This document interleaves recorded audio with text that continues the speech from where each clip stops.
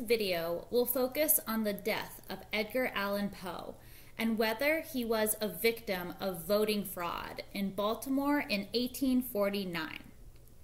Edgar Allan Poe, the novelist and journalist, is categorized today by his love of terror and the macabre. But Poe's life wasn't entirely tragic.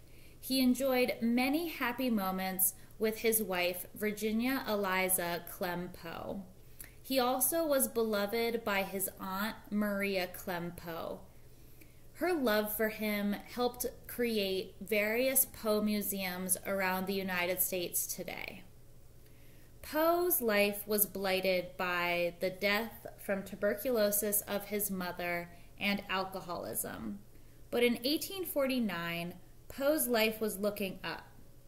Although he had experienced the death of his beloved wife, he had become reacquainted with and engaged to his childhood sweetheart, Sarah Elmira, Elmira Royster.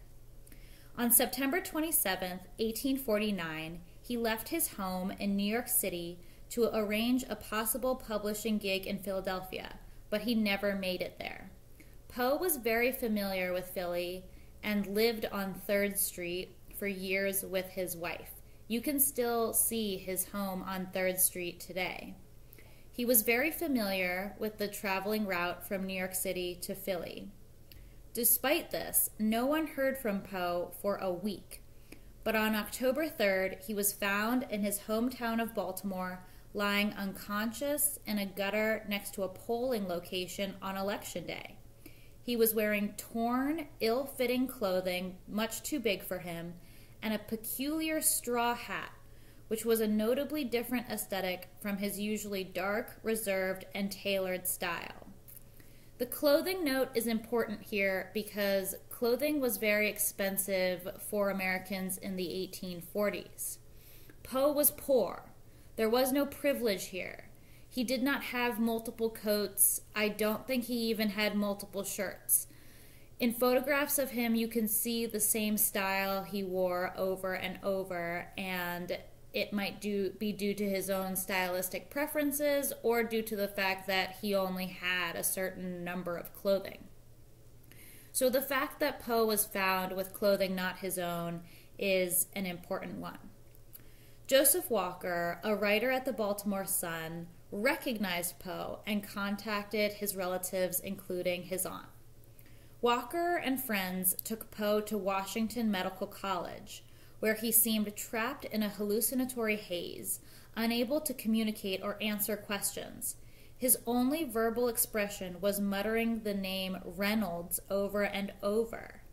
No one has ever conclusively determined who or what Reynolds was, or what they might have to do with Poe's disappearance.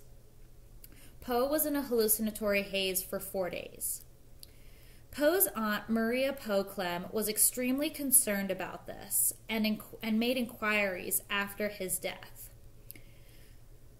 Poe um, was in the Washington Medical Hospital, and there are reports that he was shouting Reynolds on his deathbed, but I believe he was calling it. And so um, this is something that his aunt inquired about, and one of Poe's contemporaries, James A. Harrison, wrote a letter to her about it.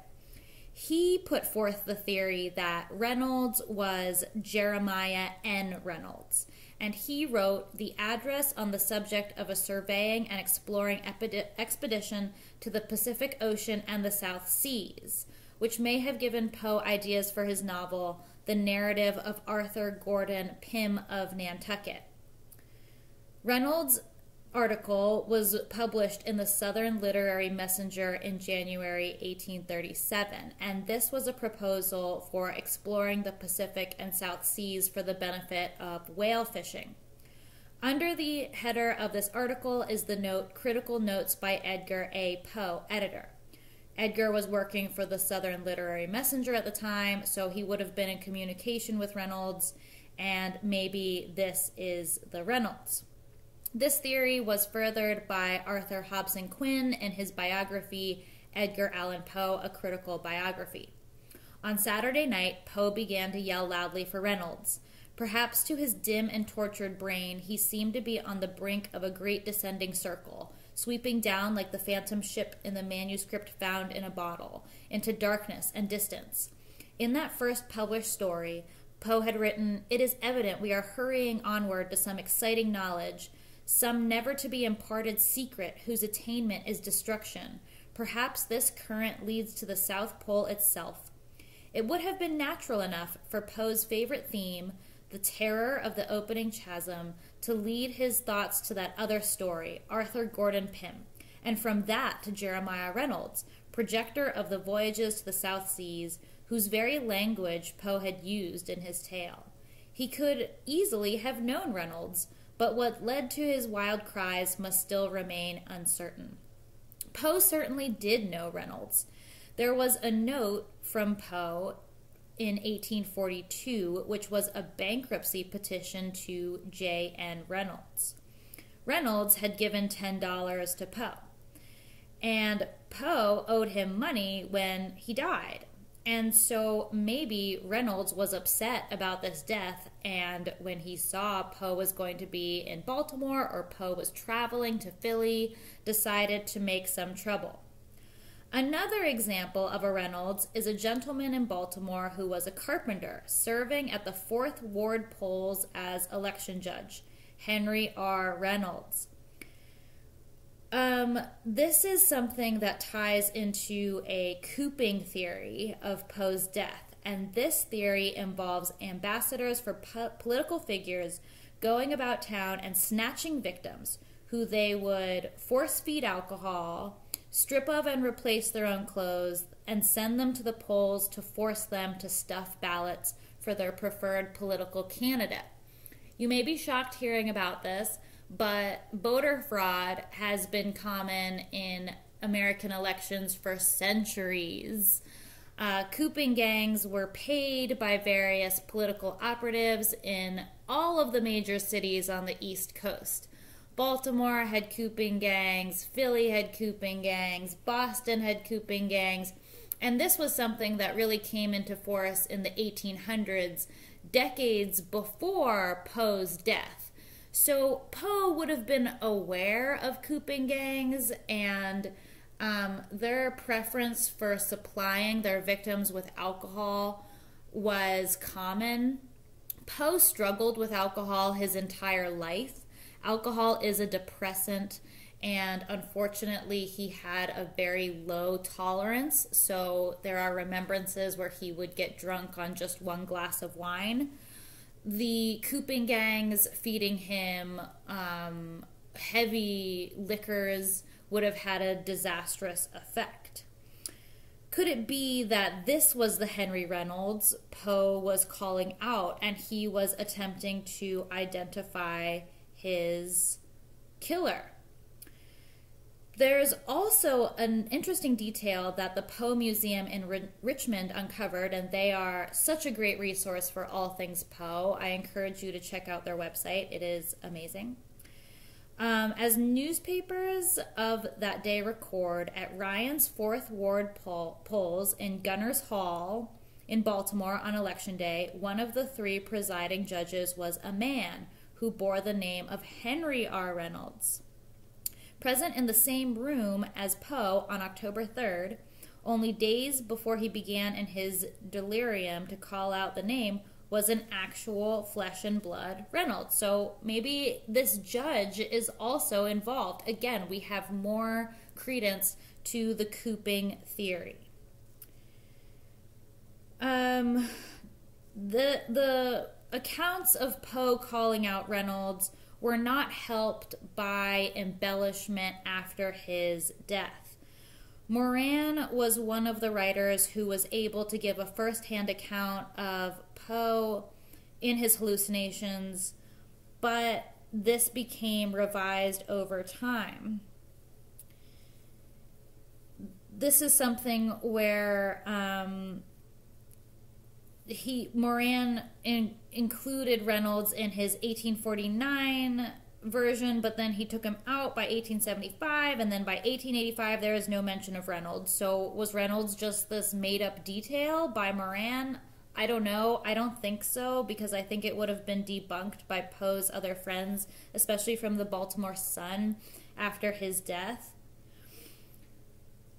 Uh, Reynolds was featured as the main antagonist in James McTeigue's film The Raven, and so it's interesting that we see this Reynolds including, you know, the Reynolds name exists in the Poe legend even after Poe's death. What Poe died of was phrenitis or swelling of the brain, which in 1849 was used as a catch all diagnosis and sometimes was used as a code for alcohol related deaths.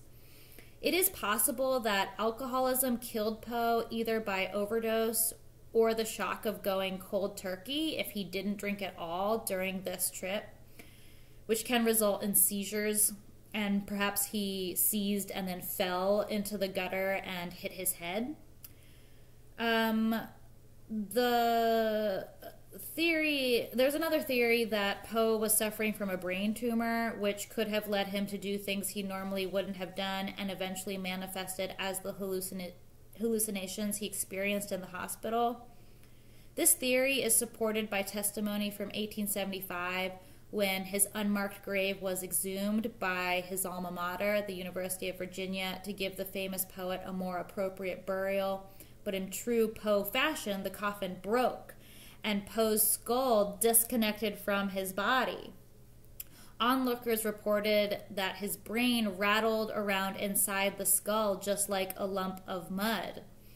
However, the human brain, due to its soft tissue, is usually one of the first parts of the body to decompose, leading later forensic pathologists to theorize that the sound heard was not his brain, but the calcified remains of a brain tumor which is much more likely to have survived 20 years after his death than the brain.